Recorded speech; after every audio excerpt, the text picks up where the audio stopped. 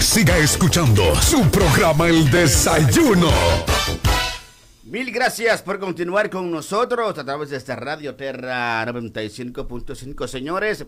Mientras genera preocupación en el Poder Ejecutivo el curso que han tomado las diferencias eh, a lo interno de la Cámara de Cuentas en el Congreso Nacional, aumentan las posibilidades de un eventual juicio político a sus miembros tras las revelaciones del presidente del ente auditor, quien se definió como un preso de confianza del Pleno. En la sección de este miércoles, el debate entre los legisladores era someter a un juicio político a sus integrantes o interpelarlos. El vocero del PLD sometió una moción para que comparezca ante el Senado, pero no contó con el voto favorable. Nosotros hace meses planteamos aquí en el Senado abriera una investigación conforme a lo que plantea la Constitución para subsanar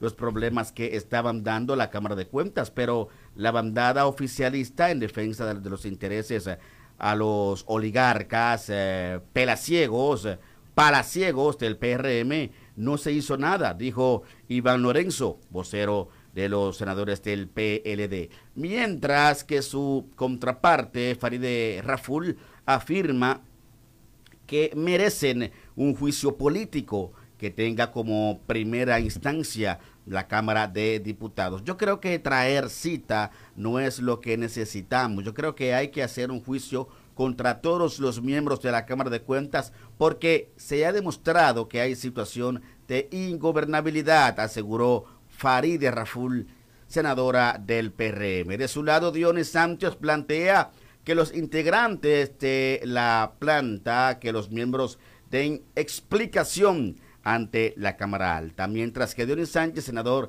de la Fuerza del Pueblo, indicó que en el artículo 94 de la Constitución establece que las cámaras pueden invitar a los funcionarios convertirse en comisión general y escucharlos. Señores, ¿Se hará esto realidad? ¿Qué es lo que está pasando realmente en la Cámara de Cuentas? ¿Qué dice el público? Diga, señor Velilla. Sí, mira, parece que el deseo de estar compitiendo con Leonel Fernández tiene a esta gente desesperado y cometiendo errores. Y yo decía, pero ¿cómo es posible que, que el teleférico pues lo hayan inaugurado tan rápido? Si hace una semana estábamos viendo gente que aún estaba reclamando que aún no le habían pagado por el tema de del desalojo que le habían hecho para que el teleférico pasara. El teleférico es una continuidad de gobierno que debemos aplaudir. Eso no lo podemos criticar y hay que resolver el tema del transporte, sobre todo en Santo Domingo, en el Gran Santo Domingo, donde la verdad es que es un caos. Y es un, es un, es un transporte colectivo que ayuda. No resuelve el problema de, de raíz, pero lo va resolviendo. Hay otros trenes que se van a hacer desde la Kennedy, dicen, hasta hasta Boca Chica, hasta el aeropuerto, se habla de, de un tren que llega a Santiago, de otro que venga a Samaná, que otro que vaya a Puerto Plata. No. No, es fácil. El tema está en que eh, supuestamente lo inauguraron. Bueno, y que iba a estar abierto. Hay un caos. Un caos. Entonces, el efecto que pudo generar la inauguración, que fue muy buena, que todo el mundo lo replicó y todo el mundo estaba muy alegre, y nadie se puede molestar por una inauguración así. Es una responsabilidad del Estado. Y yo no entiendo por qué hay que aplaudir y, felicitar al Estado por cumplir con su responsabilidad. Pero bueno, esa es la práctica normal aquí. ¿eh? De hacerle de hacerle alabanzas cuando el, empleado político que está en una posición pública cumple con su deber. ¿eh? Y nada, esa es la práctica. Pero entonces, eh, ellos por querer seguirle el paso a Leonel Fernández, como Leonel Fernández tenía una gran marcha el día primero, quisieron inaugurar el teleférico. Mira el caos. Todavía hay gente trabajando en el teleférico. Todavía hay gente colocando blog, pañete, haitianos trabajando. Y no pudieron usar. La gente un caos, quiere usar el teleférico. Usted anunció que iba a estar abierto. Y no está abierto. Entonces yo creo que hacer política con las obras del Estado es una muy mala práctica, porque al final el efecto es contrario. Porque la gente entonces cuando va a usar el servicio se encuentra de que no están listos para dar el servicio al 100% y empiezan las, cajas, las quejas, em, empiezan los videos entonces. Esa buena imagen que se logró usted cortando la cinta ¿eh? y separando al alcalde, mandándolo para atrás por negro y por... Y, y, por qué le reclamó. Pues por negro fue como John, tiene que haber sido por negro. o por la camisa que tenía, la camisa era como rosada. Ese es el alcalde, ese, ese, es el alcalde, ese era el jefe de ahí. Entonces, esa buena imagen que se le dejó al país, usted inaugurando el teleférico, dándole continuidad a las obras del Estado, como debe de ser, aunque no haya sido una idea suya, pero es su responsabilidad terminar todo lo que inició el otro. ¿Eh? Esa buena imagen entonces se borró con este caos que hay en este momento en el teleférico, la gente queriéndose montar y el teleférico entonces cerrado. Entonces, ¿qué podemos hacer con una persona así, Oroski María? ¿Eh? ¿Qué vamos a hacer? Adelante, Oroski. Señores, más informaciones en el desayuno de Terra. 95.5 por aquí salió una información, Belilla, de las filas que estaban haciendo para entrar al teleférico y que la gente supuestamente no, no cabía. Entonces, ciertamente hay un problema ahí que está llamando bastante la, la, la atención y no se sabe ciertamente en qué esto eh, va a concluir. Señores, reclaman concluir trabajos de reconstrucción del hospital Padre, Padre Villini con la demanda de que se anule el fideicomiso para salud pública, palabra que Belilla odia. ¿Fideicomiso para ¿Hay un fideicomiso para salud pública también? yo, yo estoy leyendo. No, pero...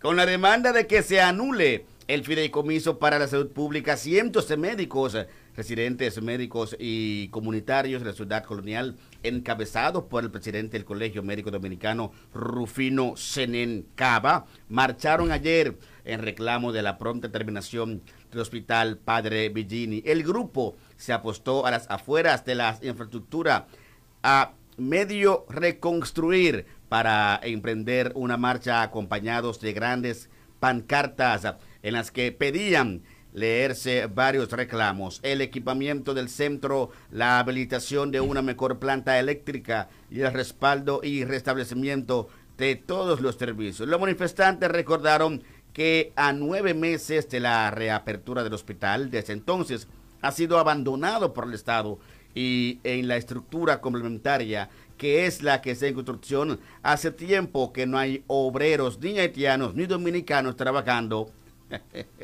por su finalización. Oh, Dios mío. Grande, señor Velilla. Mira, son... Ni, haitiano hay por ahí. Ese es un caso. Mira, ayer el servicio... Mario Lama estuvo por, por Samaná.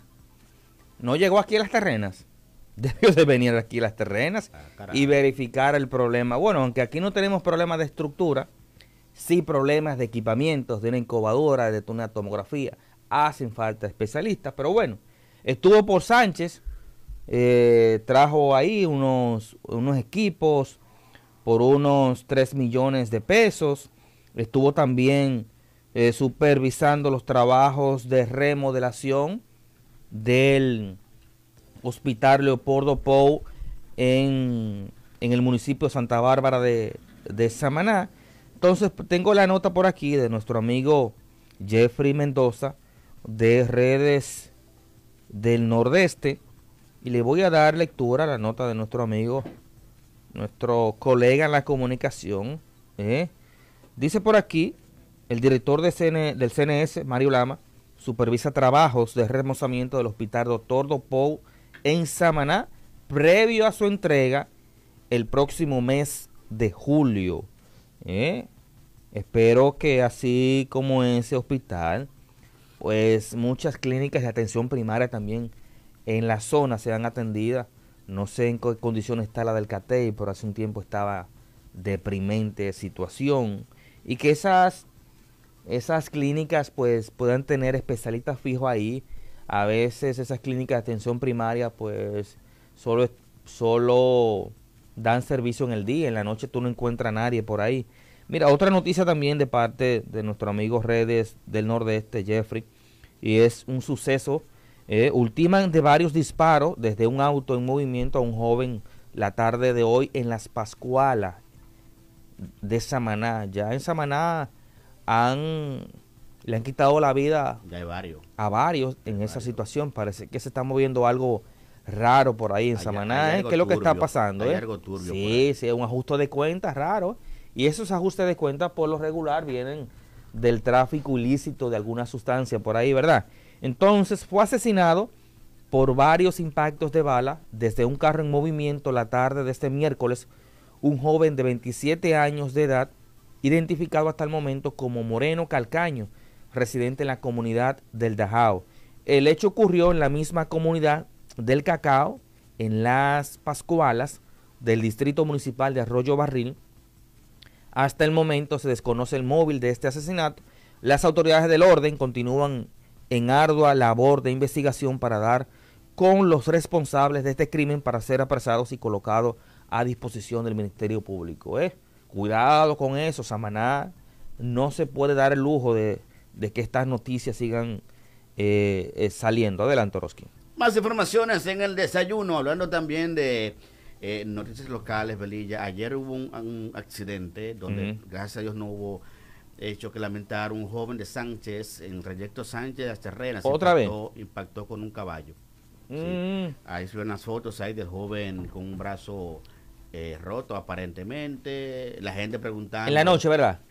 ¿O en el día? Mm, Fue, fue en el día. en el día. Bueno, en el día, porque en la noche también eso ahí es un- una boca del lobo. La boca del lobo. Hemos hablado de la necesidad de, de iluminar por lo menos una gran parte de esa carretera para que sea menos peligrosa. De una vez la gente comenzaron, comenzaron ahí a preguntarse, ¿el dueño del caballo dónde que está para que, para que pague eso? No va a aparecer. No, nunca aparece el dueño del caballo. Señores, el presidente Luis Abinader se refirió otra vez a la situación que afecta a Haití y reiteró la necesidad de que la comunidad internacional intervenga para pacificar la crisis económica, política y social que enfrenta esa nación. Consideró que para buscar una posible solución al problema haitiano, una comisión de las Naciones Unidas debería de instalarse en Haití y llevarse un vino para que analicen por un tiempo determinado cómo resolver la crisis. Esa comisión debe ir a Haití, quedarse allá y arreglar Haití.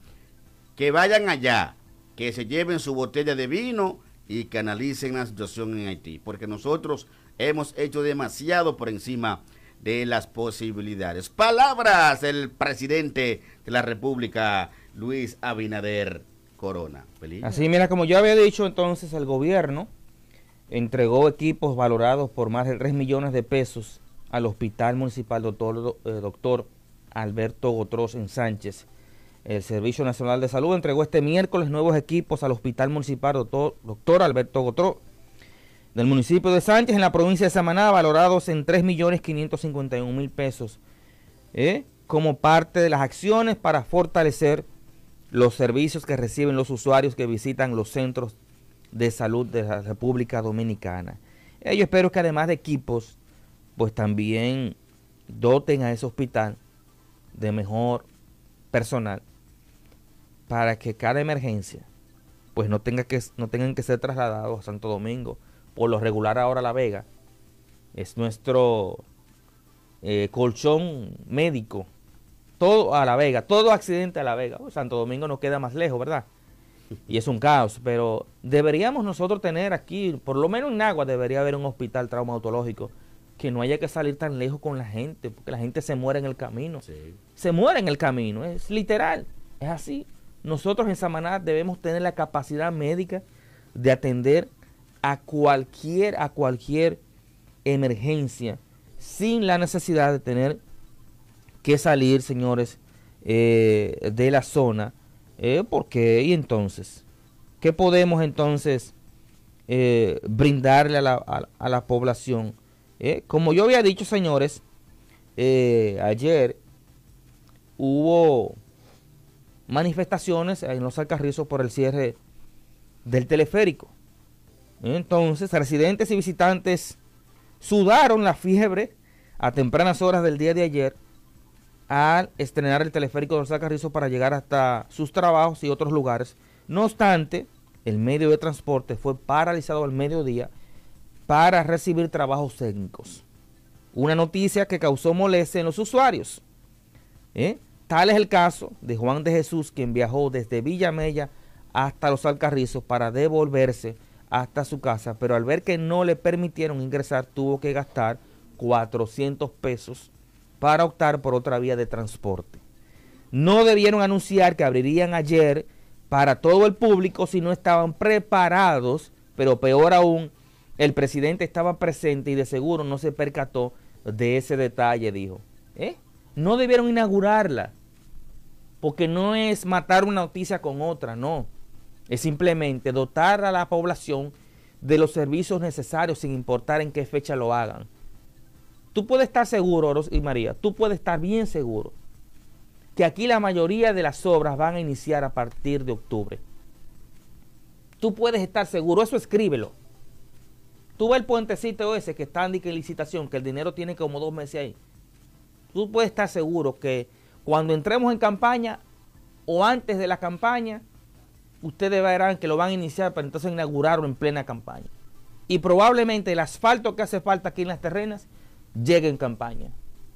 Y probablemente el pueblo de los pescadores, que para mí no era una obra eh, cumbre, ni mucho menos, pero la van a inaugurar y con eso nos van a matar. Con una obra que no necesitábamos, van a aparentar de que hicieron algo por las terrenas.